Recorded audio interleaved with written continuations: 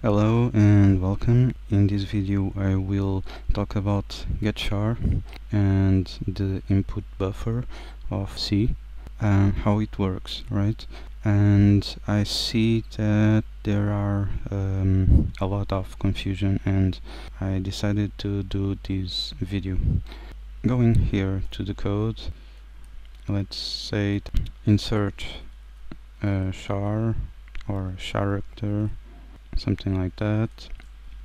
And let me see char charter is equals to get char.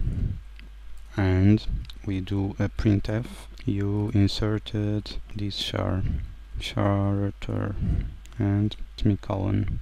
Okay if I run this the input will ask me for let me increase this will ask me for a character so I insert a G and you inserted a G okay?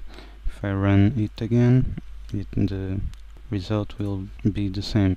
Just gets the first character okay? So how this works? Uh, we have this input buffer and uh, the input buffer is empty in the beginning, right? And the getchar will wait for something from this buffer is is the reason why uh, the next line of your code doesn't execute because this method uh, this function sorry is waiting for something from this guy okay then you insert for for example an h and this guy gets the char from the input and then the character is deleted from the buffer. Another example, instead let's say that you want to add some logic and you have uh, an integer is equals to 0 and you have a do while and while exit is equals to 0 and then inside of the do while you will want to do this code. Let's add some some logic here. If if for example the charter is equals to age it will say um, printf you inserted um, age okay?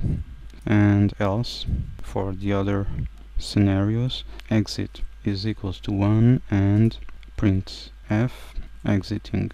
So we will exit this loop okay and the program will end. So uh, everything is in the right place and seems it will work right? So running this I type for example uh, T and the program exits right? And let me increase this. You type an H and you insert H insert a character and then we have this exit. And the program just stops. This is um, a little strange right? Um,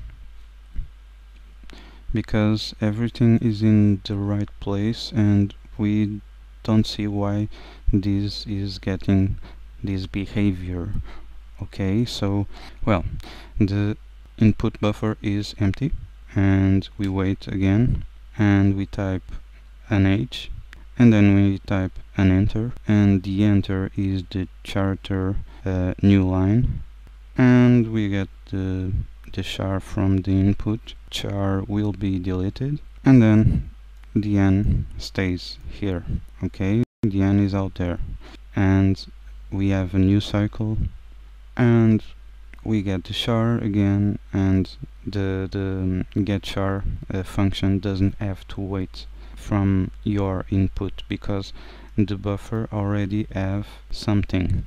Okay this uh, new line character okay so how to solve these kind of things? Well um, we can do a little trick that is cleaning the, the buffer for example we declare a char c okay and while c is equals to get char while this is different than a new line and C is different of end of file okay this loop will execute.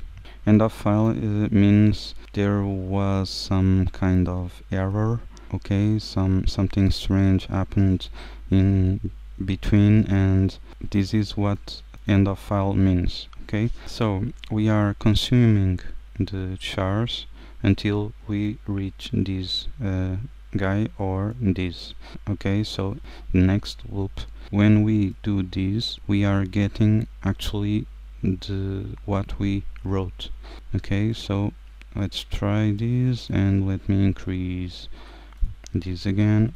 Age you insert insert a character age again. I didn't put here. Let me put a new line. So